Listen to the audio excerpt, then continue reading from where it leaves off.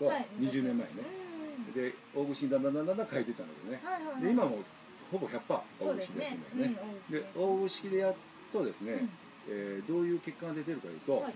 前はねちらちらっとね成功率は高いんだけど、うんいわゆる成功率というか生着率っていうんだよね、定着率。な何ヶ月経った時に時に骨がインプラントのところをギューッと結合するっていうことよな、しっかり。そう。その生着率はすごく高いんだけどもうんうん。まれにねうんちょっとね生着が悪い場合もあったの。はいはいはいはい。でも今ね大口で始めてから、うん。もうほぼほぼ、うん。もうほぼくっつくようになったのね、うん。中にはまれにねダメな時あるんだよね、ああそうですそう。それはねいろんな原因があるからそうですね。まあそれはね患者さんいらっしゃった時にね、うん。ちゃんと説明しますのでそうですね。あの、まあほとほぼ大丈夫。そうねそうですね。しっかりくっついた方が多いです次ますはいそうです。うんうんでまあ、えーこれからね、うん。えー気をつけなきゃいけないわけだね、ええそうですね。うん、そう。ねインプラントを持たせるためにってそうことですね。アフターケアね。アフターケア。うん。両輪だよね。ああそうですね。インプラントは成功してもアフターケアが悪いとダメね。ダメです自ね転車と一緒だよね。うん。一輪車乗りますってすごい大変だよね。大変ですね。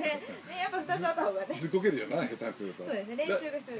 だそうそう。だから2つ必要だよね。はい。だからインプラントのはい。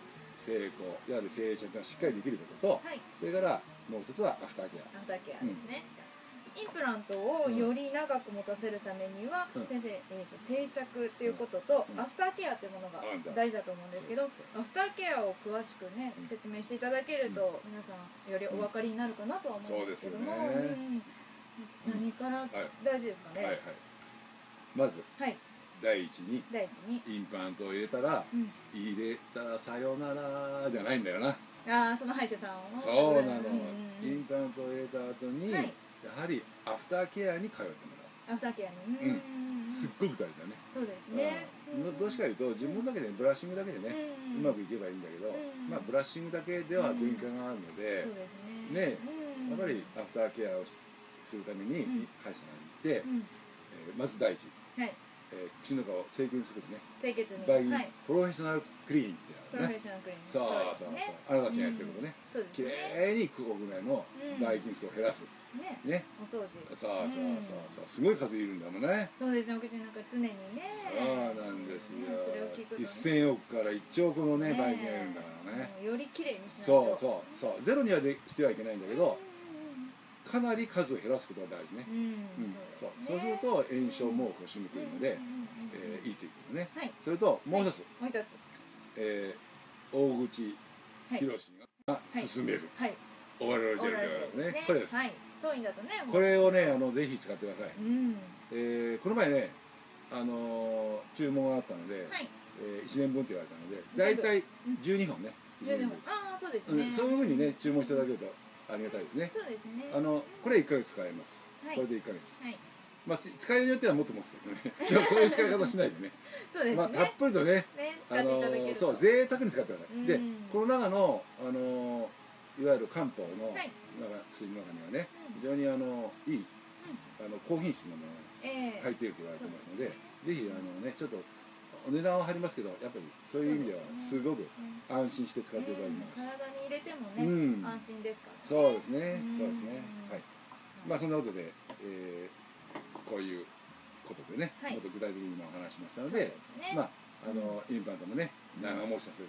はい。希望としてはねはい。永久的にそうですね、うん、持ちたいというそういう願望をねね。なんとか果たすようにね。はい。ね、努力すると。お互いに努力ですね。先生も努力するし患者さんも努力する。そうですね。お互いが努力しないと成り立たないことですからねそうですそうです。にそうあそうだいいこと言うね、はい。えーそれでまあ、はい。えー最後ですね。そうですね。でねぜひ骨が薄くてお困りの方とかね遠方の方とかが多いと思うんですけれども、うん。当院ではですね今遠方の方や海外の方用に大口博歯科クリニックへの道順をです。YouTube にアップをしております、はいでぜひね検索として大口博歯歯科クリニック案内または道順で検索していただければ、うんそうそう。はい、詳しく出ておりますのでよ。ろしければね参考にしていただけたらと思います、ね、わかりやすい。あのね手前味噌ですけど、ね。はい。すっごくわかりやすい、わかりやすい。